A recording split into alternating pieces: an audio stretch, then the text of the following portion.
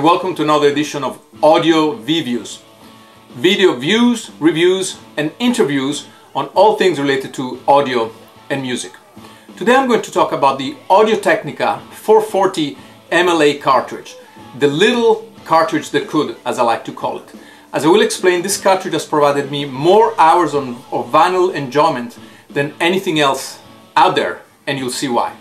Now let's start with the basics. First of all, this cartridge lists for anywhere between 229 and 299. There doesn't seem to be much agreement on what the list price is. But until very recently, you were able to get one for well under $100. In fact, I bought a couple for, I believe, $80 on Amazon.com. However, in the last few months, there's been so much hype about this cartridge that now the prices have shot up. Even then, if you're a careful shopper, you can find it for under $100. Today I went on the web, I found, I found this cartridge for $99 in one place, 150 in another place, and 199 in another place. So shop carefully and you will find it still at a good price.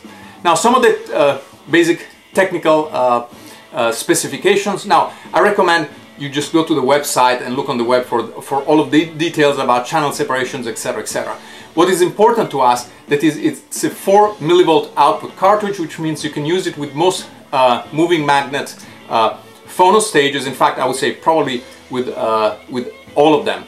Uh, for vertical tracking force, they recommend anywhere between 1 and 1.8. I like to set it at the upper end. Uh, in fact, mine is set, I believe, at 1.75 uh, grams of vertical tracking force. Always better to err on the side of a bit too much tracking force. Uh, in terms of sound, I believe it's very detailed for what it is, especially when you compare it with other budget cartridges such as the Shure M97XE, which I always also like, but it's much smoother and softer around the edges. So it's very uh, detailed. But that doesn't mean that it's bright. Some people said that the predecessor, the AT, uh, AT440ML, uh, was bright, the MLA definitely is not an overly bright cartridge, at least not in any of the systems and turntables where I've tried it. Um, in, the mids are sweet, again, not as sweet as the Shure M97 XE because the mids are the strength of that particular cartridge, but they're very nice. The bass is excellent, it's nice, taut, not, uh, not boomy, very well controlled. All of these comments, remember, is about a cartridge that you can still get for under $100. It doesn't compare to my $1,000 Clearaudio Maestro, but it uh, comes pretty close. I would say easily 80% uh, of, of the way there. Now, the key thing about it is that this cartridge tracks like a champ, especially in inner groove distortion. Now, what is inner groove distortion? Let me show you with an LP. As the stylus move from the outer grooves to the inner grooves, the information is uh, much more compacted. Uh, you can imagine you have to have represent the same frequency, the same amount of information in much smaller space because the, the turntable keeps rotating at 33 and a third. So uh, in a much smaller circle you have to have the same amount of information. Now what happens is that with many cartridges when it gets to that particular point the, uh, the information becomes too much and the cartridges start to distort. Uh, it's called inner groove distortion or IGD. It's one of the things that used to drive me crazy and one of the drawbacks uh, of vinyl. Now, because of the way that the stylus is cut, it's called a microline stylus. In fact, that's what the ML in the MLA designation stands for, micro line. The AT440 tracks the inner grooves like a champ. And I was immediately sold on this cartridge if only because of that. Now, another advantage of the stylus design is that it seems to reduce surface noise dramatically. Another uh, very big added bonus. So, in, terms of sound, I think it's fantastic for rock. Here's Dire Straits, something that always sounds, uh, sounds good.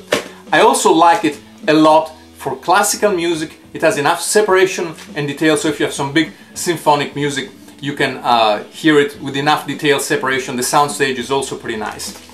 Uh, I must say it would not be the cartridge I would pick for jazz uh, necessarily. It's not that it's bad with it, but somehow when it comes to jazz, I like a warmer cartridge. To me, jazz has to find sound warm and smoky. So if you have the luxury of having multiple decks, multiple system and multiple cartridges, uh, I would probably recommend something a little warmer. Uh, I don't know why, but I like to listen to jazz on my Shure cartridge, on a vintage deck and on old tube equipment. Again, this doesn't mean that it doesn't work well with jazz, it's just, just that the, the fast, detailed uh, personality of this cartridge works, in my opinion, better with rock and classical. I like things a little bit softened, uh, softened with jazz. Uh, now, having said that, it is a relatively forgiving cartridge. As I said, it is not bright, as some people have said. Maybe the predecessor was. Uh, this version definitely is not. I hate brightness. There's no way on earth that I would recommend this cartridge if it was uh, bright. Now, if you have a fancy system, maybe you don't want to put a $100 cartridge on it, but even those of us with fancy system may have some records that they've had for 20 years, they got some scratches, they may not be the cleanest of records. It's always good to have an extra cartridge to play those. I definitely do that. I don't put a little bit worn out records on my $1,000 uh, cartridge. It's also good as a spare, it's good to do bad experiments. Overall, look, for $100, whether as an introduction to vinyl or as a spare cartridge or a cartridge that you can use in a, on less than perfect record, it's hard to go wrong.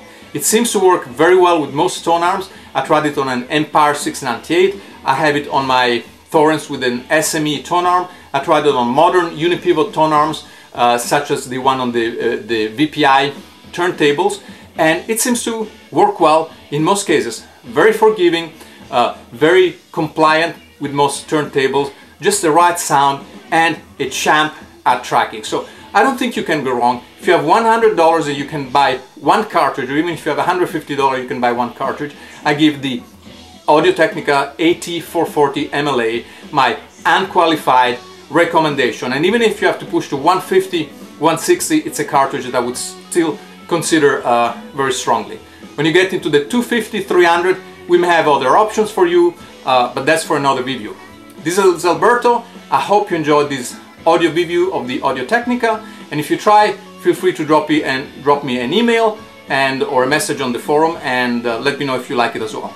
Thank you.